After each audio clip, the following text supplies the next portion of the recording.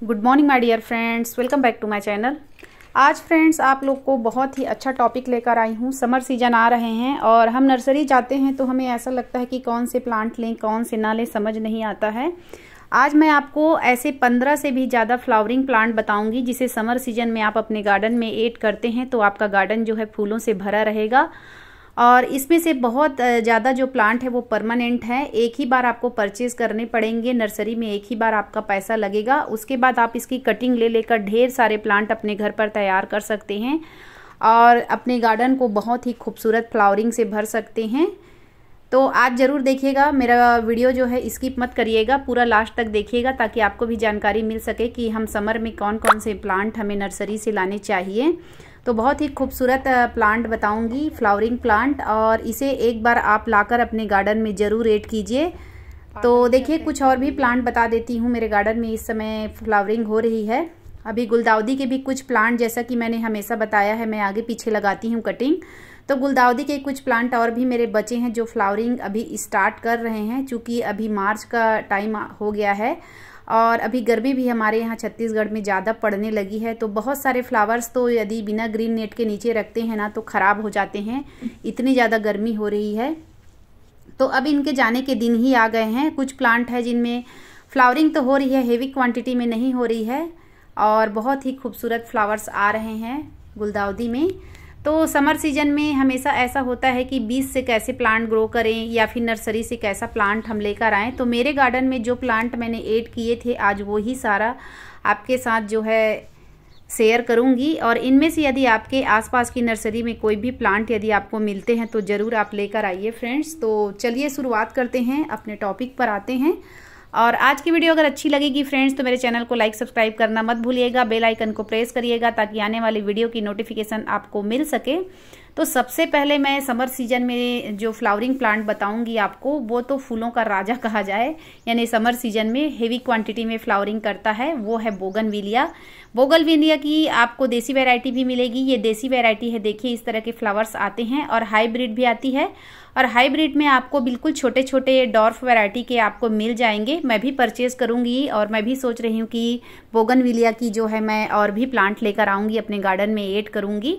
तो देखिए कितना खूबसूरत है। इसे आप कटिंग से बहुत ही आसानी से रेनी सीज़न में लगा सकते हैं। बहुत इजीली ग्रो हो जाता है। एक प्लांट से ढेर सारे प्लांट तैयार कर सकते हैं। मेरे गार्डन में चार कलर के हैं। एक ऑरेंज है वाइट है और डार्क रानी कलर है और ये दो कलर हैं। इस तरह से छह कलर है मेरे गार्डन में।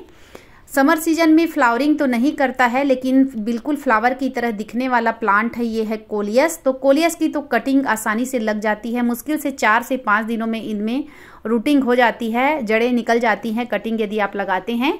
तो इसे भी फ्रेंड्स, आप जो है नर्सरी जाते हैं तो ज़रूर इस प्लांट को लेकर आइए। यदि आपको फ्लावरिंग प्लांट कम मिलते हैं ना तो इस तरह के कलरफुल पत्तियों वाले प्लांट भी अपने गार्डन में आप एड करते हैं तो बिल्कुल फूलों की कमी को ये प्लांट दूर करते हैं। देखिए, मैंने कितने सारे कटिंग लगाए हैं अपने गार्डन में और ये सारी तैयारियाँ जो है मेरी समर सीज़न के लिए है। बहुत सारे मैंने प्लांट तैयार किए हैं और एक एक में मैं किस तरह से कोलियस को लगाऊँगी वो भी आप लोग से शेयर करूँगी उसका वीडियो समर सीज़न में मेरे गार्डन में जो चार चाँद लगाने वाला प्लांट है वो कोलियस ही होता है और इसे थोड़ी सी सनलाइट की ज़रूरत पड़ती है जिससे कि इनमें की पत्तियाँ जो है वो कलरफुल आती हैं। अगला जो प्लांट है, वो बहुत हेवी क्वांटिटी में, ये तो बारह महीने फूल देता है, वो है अबोली का प्लांट और देखिए, एकदम डायरेक्ट सनलाइट में मत रखिएगा इसको, क्योंकि इनकी पत्तियाँ जलने लगती है, और अबोली में आपको बहुत सारे कलर्स मिल जाएँगे red white orange peach colour और मेरे पास दो कलर है, एक रेड कलर है और एक ये ऑरेंज कलर है। और बहुत जल्दी, बहुत ही आसानी से इसकी कटिंग लग जाती है। आप एक प्लांट से ढेर सारे प्लांट तैयार कर सकते हैं। नेक्स्ट प्लांट जो है, वो है हिबिस्कस का, जिसे गुड़हल भी कहते हैं, और हमारे छत्तीसगढ़ में इसको मंदार का फूल भी बोलते हैं। तो इसकी तो ये देसी वैरायटी है फ्रेंड्स ये वाली, और जो रेड वाली आप लोगों ने देखी है, उसमें पुणे वैरायटी भी आती है। आजकल बहुत सारे हाइब्रिड के कलर्स आ गए हैं। मेरे गार्डन में लगभग अट्ठारह कलर हैं। और देखिए, इस तरह के फ्लावर्स बहुत ही खूबसूरत होते हैं। मैं जब भी नर्सरी विज़िट करती हूँ, कोशिश करती हूँ कि जो मेरे गार्डन में हिबिस्कस के फ्लावर्स नहीं हैं, ऐसा प्लांट मुझे दिख जाता है तो मैं ज़रूर लेकर आती हूँ। तो इनके भी प्राइस जो है हंड्रेड रुपीज़ के अंदर मिलते हैं। तो नर्सरी में इस समय बहुत प्यारे प्यारे कलर्स मिल रहे हैं हिबिस्कस के। हाईब्रिड हिबिस्कस यदि आप लाते हैं तो उसे छायादार जगह पर रखिएगा जहाँ पर इनको दो घंटे की धूप मिले। तो कुछ और भी फ्लावर आज खिले हैं हिबिस्कस के। देखिए, मैं दिखा देती हूँ आपको। बहुत प्यारे प्यारे कलर्स हैं।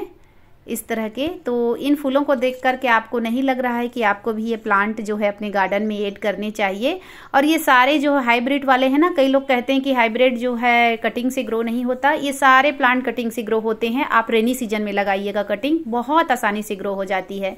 बोगनविलिया का ऑरेंज कलर दिखा नहीं पाई थी फ्रेंड्स देखिए ये ऑरेंज कलर है।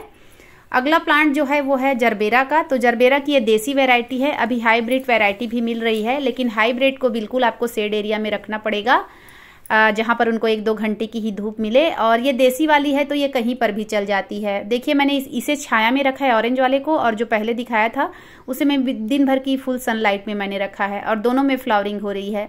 तो इसे भी आप परचेज कर सकते हैं नर्सरी में। एक ही बिस्कस का फ्लावर एक ये है। चलिए, जो समर सीज़न का हेवी क्वांटिटी में फ्लावरिंग करने वाला प्लांट है, वो है यू फोर विया मिली और यू फोर विया मिली में देखिए, मेरे गार्डन में तो आप लोगों ने देखा होगा, बारह महीना ये फूल देता है और समर सीज़न में बहुत अच्छी इनमें फ्लावरिंग आती है। तो इसे भी लाना मत भूलिए, ज़्यादा रेट नहीं रहता है इसका forty rupees fifty rupees thirty rupees में भी मिल जाता है। प्लांट पे डिपेंड करता है। नर्सरी वाले अक्सर क्या करते हैं फ्रेंड्स जो प्लांट ज़्यादा अच्छे बड़े होते हैं, उनका प्राइस बढ़ा देते हैं और यदि प्लांट छोटा होता है तो उसका प्राइस कम कर देते हैं। तो जैसा आपको लगे वैसा आप ज़रूर परचेज करिए। थम्बर्गिया का प्लांट है, देखिए। ये भी कटिंग से बहुत आसानी से ग्रो हो जाता है और देखिए कितनी अच्छी फ्लावरिंग कर रहा है। और ये प्लांट भी जो मेरे डेली के व्यूअर्स हैं उन्होंने देखा होगा, बारह महीने मेरे गार्डन में ये फ्लावरिंग करता है और समर में भी बहुत अच्छी फ्लावरिंग करता है। ये भी फोर्टी से फिफ्टी रुपीज़ के बीच में मिल जाते हैं। तो नर्सरी जाते हैं तो थम्बर्गिया का जो प्लांट है, उसे ज़रूर आप पूछिएगा। और ये है पिंक टागर। पिंक टागर भी बारह महीना फूल देता है, लेकिन इसे आपको सेड एरिया में रखना पड़ता है। ये धूप में बिल्कुल भी नहीं चलता है। ऐसे जगह पर आप रखिए जहाँ पर इनको इनडायरेक्ट सनलाइट मिले। नेक्स्ट प्लांट है समर सीज़न में हेवी क्वांटिटी में फ्लावरिंग करने वाला प्लांट वो है टिकोमा। टिकोमा में आजकल येलो रेड ऑरेंज और ये पिंक इस तरह के कलर्स आ गए हैं। और हाइब्रिड और आए होंगे तो मुझे तो पता नहीं है। तो इस तरह के आप जो है टिकोमा का प्लांट भी ला सकते हैं। ये भी थर्टी से फोर्टी रुपीज़ में मिल जाता है। अगला प्लांट है, वो है चांदनी का प्लांट चांदनी में आपको सिंगल पेटल डबल पेटल और डॉर्फ वैरायटी लॉन्ग वैरायटी इस तरह के आपको प्लांट मिल जाएँगे। और तीनों प्लांट मेरे गार्डन में हैं। देखिए, ये सारे प्लांट मैंने एक प्लांट से कितनी सारी कटिंग लगा, लगाकर बहुत सारे प्लांट तैयार कर लिए हैं। ये भी थर्टी से फोर्टी रुपीज़ के बीच में आपको मिल जाएँगे। इसके बाद नेक्स्ट प्लांट है, वो है एक्जोरा डॉर्फ वैरायटी और लॉन्ग वैरायटी ये लॉन्ग वैरायटी वाला है। डॉर्फ वैरायटी में भी मेरे पास लगभग चार पाँच कलर हैं पिंक ऑरेंज और रेड बहुत सारे कलर्स हैं तो इसे भी आप परचेज इस समय कर सकते हैं समर सीज़न में।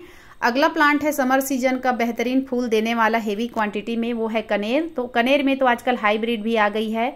इसके colour pink red single petal double petal इस तरह के आते हैं white colour pink colour orange colour बहुत सारे कलर्स आ गए हैं फ्रेंड्स आजकल।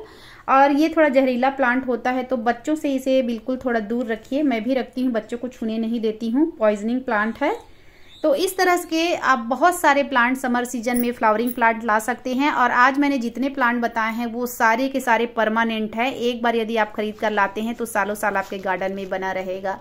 तो आशा करती हूँ फ्रेंड्स आज कुछ ना कुछ आइडिया ज़रूर मिला होगा और नर्सरी जाएँगे तो आप कन्फ्यूज़ भी नहीं होंगे।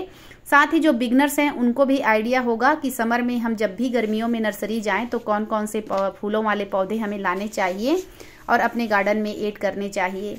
तो इस तरह आप लोगों ने देखा इतने सारे फ्लावरिंग प्लांट। तो आशा करती हूँ आज का वीडियो ज़रूर पसंद आया होगा। पसंद आया तो प्लीज़ मेरे चैनल को लाइक, सब्सक्राइब ज़रूर करिएगा। बेल आइकन को प्रेस करिएगा ताकि आने वाले वीडियो की नोटिफिकेशन आपको मिल सके। गार्डनिंग से रिलेटेड वीडियो बनाती हूँ। तो फिर मिलती हूँ फ्रेंड्स। Bye bye.